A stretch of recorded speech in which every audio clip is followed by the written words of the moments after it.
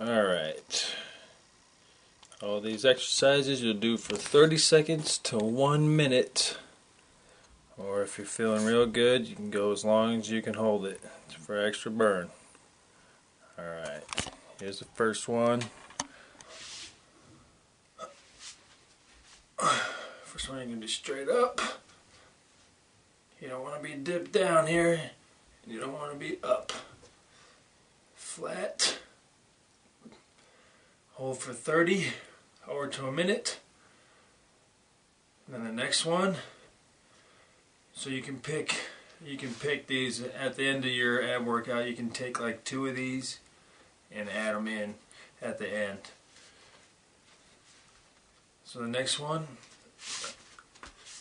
you're gonna stay stable.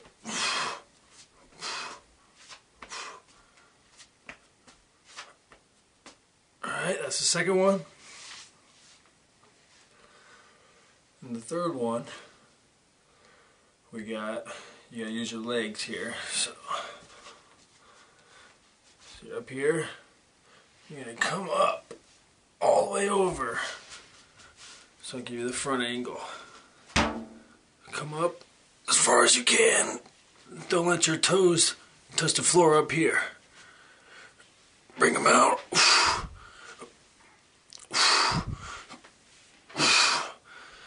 Like ice climbers. Alright. And the next one, you're gonna want like a yoga mat, something good for your elbows. You're gonna be up, down to the elbows, back up, down, back up, down, back up, and make sure you're alternating hands. So down left, right, up left, right, down right, left, up right, left.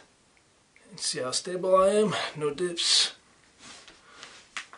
And you got the side planks.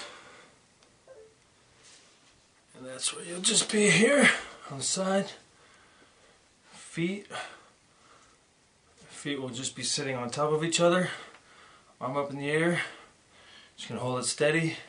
That's one. Switch sides at the end of the set. Then another one. You can dip up. Get some movement like this.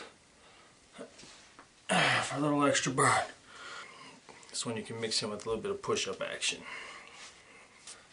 You're up steady. Go down slow and hold it at the bottom. See my chest is about two, three inches off the floor. Just gonna hold it there for about 10 seconds. Come back up. Go down slow. 10 seconds. I'll Do about three to four reps unless you're feeling real good. It's a good one to work your hamstrings. So these are your hamstrings, these are your quads. You're doing all the squat stuff, you're getting your quads done here. So we gotta balance it here, otherwise it can cause cause you to start arching. The muscles will start pulling forward. You start arching, or if you get too strong in the hands you might arch this way a little bit. So you want to try to stay balanced. So on the days that you do squats or anything involving the quad, you want to do something hamstring. So I'm sure I'm sure the person there can give you a couple exercises, but this is a good one I like to do. So you're gonna be up like a crab walk. Want to keep your hips up, not like this. Stay like this. Get one leg at a time. Straight out. Going down, up, down, up. You get about 20, 25 reps, and you'll start feeling it right in here in the hamstrings. So you want to do a couple sets of that, two, three sets. Maybe 25, 15, 10. Go down like that. Make sure you're switching legs. And if you're feeling real good about your plank, get yourself some good grip for your for your feet. You can go start in the plank, then you're gonna move your arms out past your head and hold the plank. It's gonna give you the extended plank. That's killer. Then you're going to get a Bosu ball. One of those big, big balls. You're going to find a wall that has maybe a little thing sticking out of it. And you can set your feet under there and hold yourself up. Get on the ball.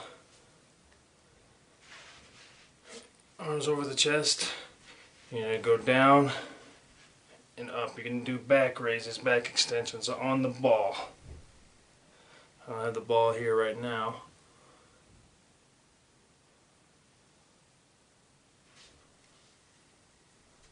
So you're going to have the ball right here. Then you're going to go down and lift yourself up.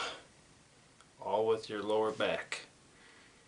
So this one with the ball, it takes a lot of stress off. There's other back extensions a little harder. That's a good one to start with.